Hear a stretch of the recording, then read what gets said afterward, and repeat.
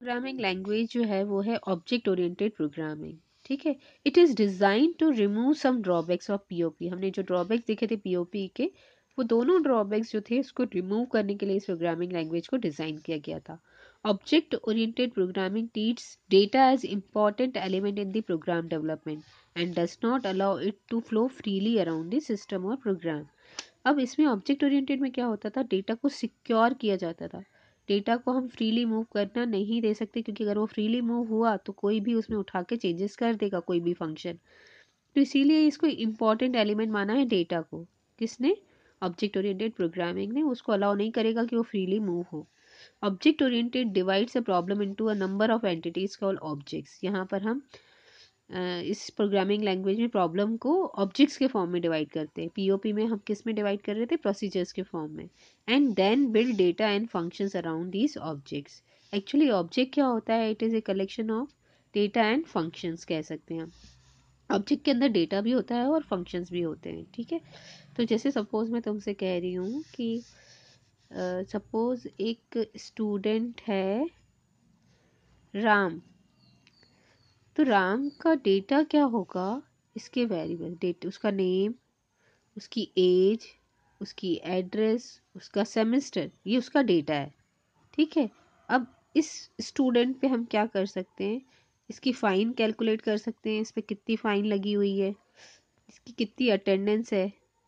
ठीक है? Total attendance fine कर सकते हैं। इसके रिज़ल्ट फाइन कर सकते हैं। तो ये इसके फ़ंक्शंस है। तो कोई भी जो ऑब्जेक्ट होता है it is a collection of data and functions होते हैं। तो इसीलिए कह रहे हैं कि जो ऑब्जेक्ट है, इसकी में क्या होते हैं फ़ंक्शंस होते हैं और ऑब्जेक्ट्स होते हैं। तो जैसे ये ऑब्जेक्ट है ऑब्जेक्ट भी ऑब्जेक्ट सी जैसे एक प्रोग्राम है, उसको हमने ऑब्जेक्ट्स में डिवाइड कर लिया, ठीक है? तो जो ऑब्जेक्ट के अंदर डेटा होता है, जैसे ये ऑब्जेक्ट ए है, इसका डेटा इसके फ़ंक्शंस है तो ये डेटा सिर्फ़ कौन एक्सेस कर सकता है? ये फ़ंक्शंस इस डेटा को कौन एक्सेस कर सकता है? ये फ़ंक्शन इस डेटा को कौन एक्सेस कर सकता है? ये फ़ंक्शन यानी जो फ़ंक्शंस ऑब्जेक्ट के अंदर हैं, वही उस डेटा को एक्सेस कर पा रहे हैं। क्या आउटसाइड कोई ऑब्जेक्ट इसको एक्सेस कर पाएगा? क्या नहीं कर पाएगा? इस डेटा को अगर ऑब्जेक्ट भी यूज़ करना चाहे तो नहीं कर पाएगा। तो यहाँ पर डेटा सिक्योर्ड होता है।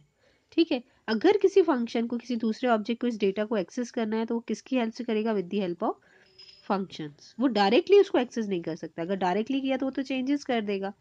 तो वो तो ऑब्जेक्ट्स आपस में कैसे कम्युनिकेट करते हैं फ़ंक्शंस के थ्रू और जो डेटा होता है, सिर्फ़ उस डेटा को कौन एक्सेस कर सकता है? उस ऑब्जेक्ट के फ़ंक्शंस तो data of an object can be access only by the function associated with that object and functions of one object can access the functions of other objects ठीक है? ये फिगर है organisation of data and functions in object oriented programming अब क्या होता है? Object oriented programming ties data and functions together वो क्या कर रहा है? डेटा एंड फ़ंक्शंस को एक साथ बाइंड कर दे रहा है and protects it from accidental modification from outside function जिससे क्या होगा? आउटसाइड फ़ंक्शन उसको चेंज नहीं कर पाएँगे।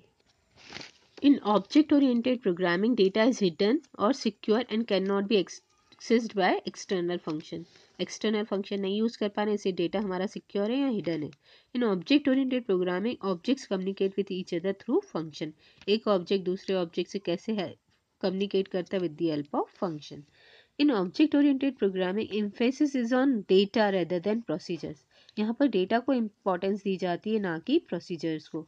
Object oriented follows bottom up approach design ठीक है यहाँ पर बॉटम अप अप्रोच यूज़ होती है, यानी पहले ऑब्जेक्ट्स बनते हैं या क्लासेस बनती है, आगे हम देखेंगे प्रोग्राम में।